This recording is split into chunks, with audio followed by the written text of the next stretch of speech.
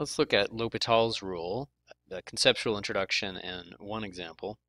Uh, mainly the pitfalls with this are operational and um, doing the examples and all the variations, but I want to give a brief idea of why it might be true, which it is.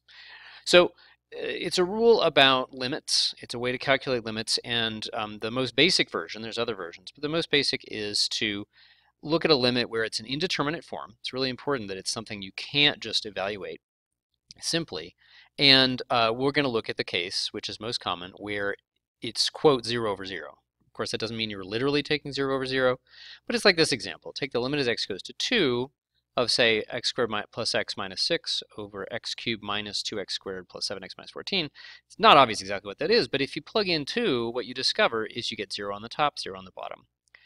And we know how to deal with this particular case if you can factor and cancel. This guy the x minus 2 factor on the top and bottom cancels out and it becomes easy to evaluate. But what if we can't do that? Um, there were some other algebraic techniques involving like square root, rationalizing square roots. There's really a lot of general things like with e's or ln's or cosine sines, things like that. So for example, this, this example here, limit as x goes to 0 of 1 minus e to the 4x over sine 3x. Um, if you plug in x equals 0 on the top, you get 1 minus 1 is 0. If you plug in x equals 0 on the bottom, you get sine of 0 is 0. So this is not something where you could just plug in. And we just don't know how to deal with this yet. Well, so the general case, uh, at least for this kind of a 0 over 0 form, is you've got the limit of a quotient. It's very important that it's a quotient of two functions. Limit as x goes to a, whatever that is. And in fact, uh, a can be infinity, but we won't focus on that case. Such that the limit of the top is 0 and the limit of the bottom is 0. That's the case where it's indeterminate. So let me say something right at the start. I feel like it's really helpful to avoid a certain very, very common pitfall, is imagine you're not actually super interested in that final quotient, what that number is, but you're using this as a means to compare the two separate functions, f and g. Um, and this can be very useful. If this limit turns out to be 12, it turns out that when x is near a, f is about 12 times bigger than g. If this limit is 0, it means that f is a lot smaller than g. If this limit is infinity, it means that f is a lot bigger than g as x goes to a. And so you don't have to think of it that way, but that uh, that mindset is going to avoid a, a, very important pitfall soon. Okay, so let's look at the simplest case. Could we could we look at this and with an eye to how could this have to do with derivatives in calculus? So the very simplest case, I'm going to let a be zero just for simplicity. It's not super important at all that it be zero, but it just makes the formula a little simpler. And we're going to look what happens if f and g are just straight line functions. If they're straight line functions that limit to zero at zero, they can't have any um, intercept, so they're just one slope m1 times x and slope m2 times x. So the picture is like this. You just have two straight lines. Let's say f uh, is the top one, forgot to label it, sorry, and f and uh, g is the bottom one. Here I picked uh, 6x and 2x, I believe. Okay. And what happens if you take the limit of the quotient? Now, in this case, that the factor and cancel is done for us, and it's super, super simple. If you really have these as straight line functions, then the limit of mx, m1x over m2x, the x's cancel, and you just get this constant m1 over m2. Um, and so, done. It's and in particular, it's the limit, um, it's the ratio of those slopes. Okay, so the limit there of the quotient, the comparison is the ratio of the slopes. Well, slope of a line sounds maybe like slope of a tangent line. So what do you have in general? The graphical picture more generally is you might have two curves. Uh, let me make one of those bold actually just to make sure um, we can see which one's which. Okay. There we go. Okay, so maybe this is F, the steeper one, and this is G, the less steep one, the, the, the not bold one. And we'd like to get, again, the limit of the quotient, f over g, or in other words, compare these, the values of f and the bold with the values of g when x is really, really small.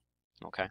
Well, and we know what happens with calculus. When we zoom in, by taking the limit as x goes to 0, we're zooming into small, small, small x. When we zoom in, those are guys are going to appear really straight. Or in other words, we're going to use the, the fundamental principle of differential calculus. Sometimes we can just assume a curve is given by its own tangent line to a good enough approximation, especially when we're being told to zoom in near a certain fixed point. So let's draw those tangent lines. I set it up so the tangent lines were exactly just y equals 6x and y equals 2x from before.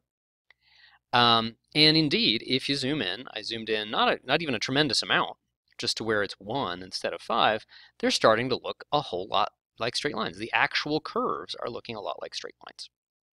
So it's plausible that in fact the limit of the actual ratio of the actual functions might be the same as the limit of the m1x over m2x, the values of the tangent lines, and that's just the ratio of those slopes. That's the basic idea.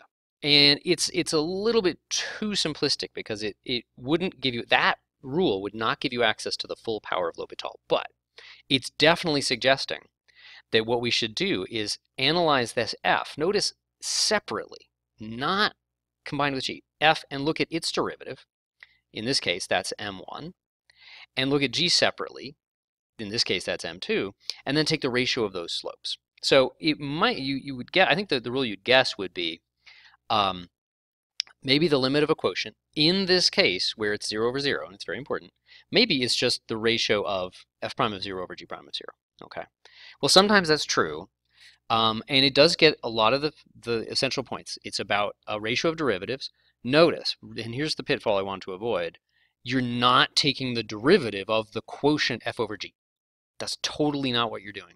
You are separately taking the derivative of top and bottom and then taking the quotient. Quotient of derivatives, not derivative of quotients. Okay.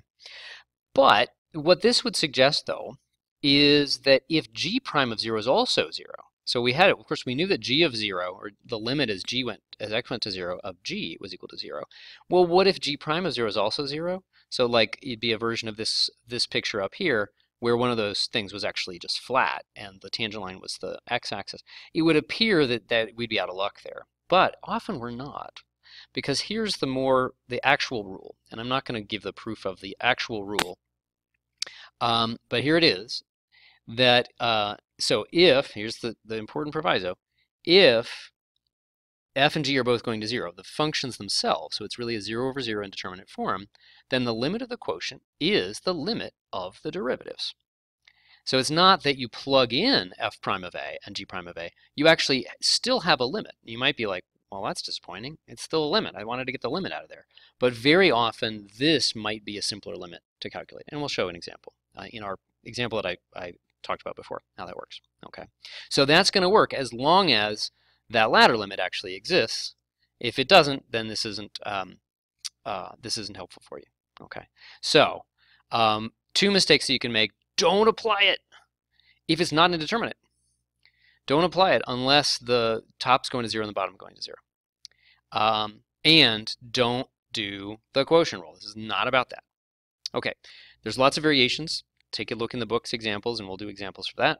But here's our here's our example I started with we take the limit of this is f, 1 minus e to the 4x, and this is g, sine 3x. We just take the derivative of the top and the bottom separately. What happens in this example is the top is no longer going to 0. Now that's that doesn't really matter that much. It's, a, it's about the bottom that's crucial. Um, but the bottom is no longer going to 0. Ah, that's really helpful. Okay, so the limit of this, top over bottom, we can plug in. So it's a little bit like how factor and cancel gave us something that we rewrote a fraction in a way that the bottom wasn't going to zero, the denominator. And that just gives us minus 4 thirds, and we are done. And that is super easy. And that's where I'll stop.